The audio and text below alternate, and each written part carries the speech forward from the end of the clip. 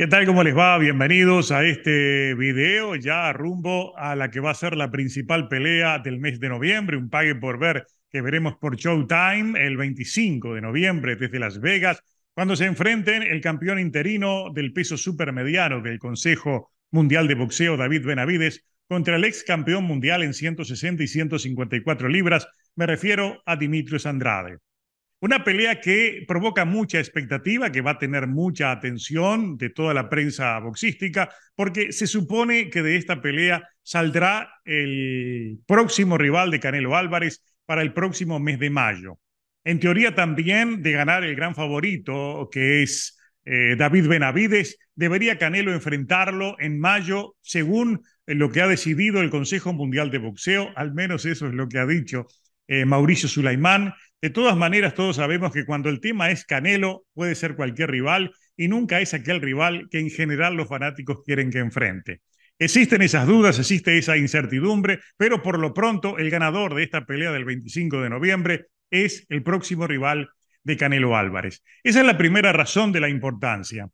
La segunda importancia de este combate es porque David Benavides que está llamado a grandes cosas en el boxeo con sus lógicos detractores y quienes creen que debe transformarse en la gran figura de los próximos años en el boxeo profesional, entienden de que Dimitrios Andrade es un buen rival. Es un hombre que ha sido evitado, ha sido seguramente históricamente el boxeador más evitado, basta ver la lista de rivales que se fueron apartando para no enfrentarlo. Y está claro también que sus características boxísticas tienen todo aquello que puede complicar a un rival como David Benavides. Es un hombre zurdo, es rápido, de buenos desplazamientos y quizás queda en el debe la, la potencia y la calidad de su golpeo en esta división. En su última pelea contra Damon Nicholson, él mostró que mantiene la velocidad, se mostró muy rápido y al mismo tiempo lo vimos por momento entrar allí en la corta distancia a fajarse sin amarrar y sin ensuciar la pelea.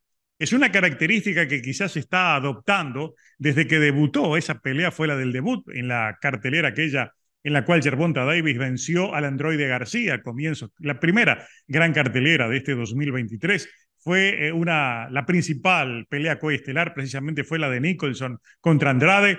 Andrade ganó por amplia diferencia en las tarjetas, pero no pudo lastimar, no pudo enviarlo a la lona, no pudo ganar por nocaut. En los números se vio claramente la diferencia a su favor, un hombre eh, superior en todos los aspectos y que estaba enfrentando a un Nicholson que había perdido eh, cuatro veces en ese momento, ahora tiene otra derrota más en su última pelea, tiene dos derrotas más, vamos a aclararlo mejor, pero dentro de sus derrotas tiene una derrota por la vía de los puntos contra Edgar Berlanga, otra contra Steve Rolls y había sido noqueado en dos peleas, en una de ellas contra Gigi Hart. Todo ese prontuario establece eh, sus limitaciones a la hora de enfrentar a un Dimitrios Andrade que pese a todo tuvo inconvenientes. Tuvo inconvenientes, por momentos se confundió en su boxeo, falló en su boxeo, inclusive se llevó algunos trayazos duros cuando entraba a hacer aquello que él no está acostumbrado a hacer, que es a pararse, a intercambiar, pararse a boxear allí sin moverse por laterales. ¿Qué es lo que yo creo debido a eso? De que Dimitrios Andrade eh, no tiene nada que ver el que veamos el 25 de noviembre con ese que vimos contra Nicholson. Especialmente eh, porque si bien no le afectó el cambio de tonelaje, se ve muy rápido, repito, trabajando muy bien sobre piernas, creo que esta vez el peso en la mano va a ser inferior incluso al de, pelea, al de divisiones anteriores y todo eso es una limitante frente a un hombre que pega duro, que pega fuerte y que también es rápido, aunque no lo parezca, como David Benavides. Por eso lo que creo del Dimitrios Andrade que veremos en esa pelea del 25 de noviembre es el mismo de siempre, moviéndose rápido, tratando de amarrar cuando se ve complicado, usando los laterales y complicando esa parte, volviendo de un hombre muy estático y muy radical en términos de, de movilidad. Él es fuerte, tiene un buen jab, trabaja muy bien eh, con sus golpeos al cuerpo y también con sus golpes de poder, si se lo permiten, en corto. Otro aspecto de Benavides eh, que es interesantísimo, porque en corto muchas veces trabaja mejor que en largo.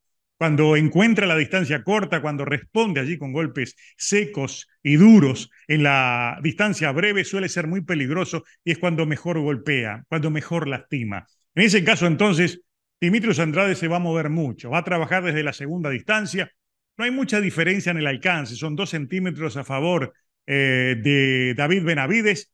En la altura, obviamente, Benavides es más alto, pero en el alcance están prácticamente iguales, apenas dos centímetros, que es literalmente decir nada. Es por eso que uno debería imaginarse que esta pelea no va a ser muy entretenida al principio. ¿Por qué? Porque seguramente Benavides le va a ceder territorio eh, Andrade, va a usar el jab, se va a estar moviendo, lanzando golpes de la segunda distancia, por momentos entrando rápidamente y saliendo. Y Andrade esperándolo, dejándolo trabajar en esos primeros episodios y buscando soltar de contragolpe. Como tiene el, brazo un poquitito más largo, seguramente el contragolpe puede ser muy efectivo. Y en ese aspecto él es eh, muy eh, efectivo a la hora de colocar golpes de sorpresa en hombres que entran. Yo creo que se va a volcar hacia ese tipo de boxeo y lo va a obligar a Andrade a que se mueva mucho tratando de cansarlo.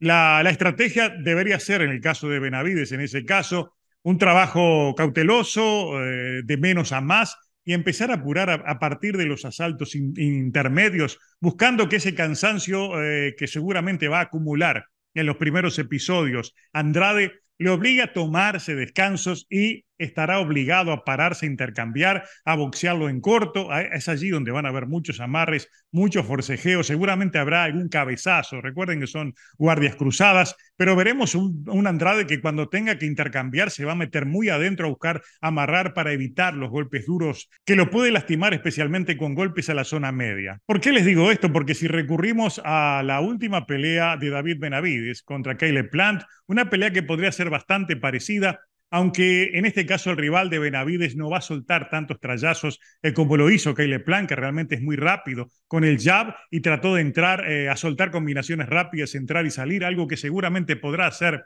eh, Dimitrios Andrade con los cuidados propios de un hombre que sabe que si lo conectan lo pueden noquear. En ese caso va a ser una pelea bastante parecida a la que tuvo contra Caleb Plant y si vemos los números, hubo un buen trabajo a la zona media, pero sobre todo en golpes de poder por parte de David Benavides, que fue allí donde lo lastimó, llegó lastimado a punto de ser noqueado al final Kyle Plant, por más que aguantó los 12 asaltos. Yo pienso que va a ser al menos hasta la mitad una pelea muy parecida a la que vimos entre Benavides y Kyle Plant.